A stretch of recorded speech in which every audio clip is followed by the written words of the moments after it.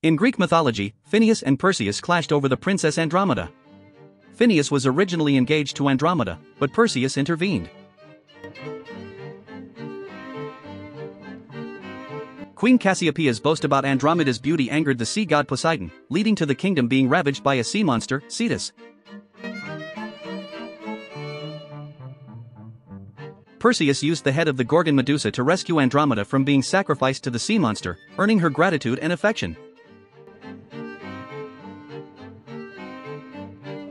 Phineus, feeling bitter and resentful, attempted to kill Perseus at the wedding, but Perseus turned him into stone with the head of the Gorgon.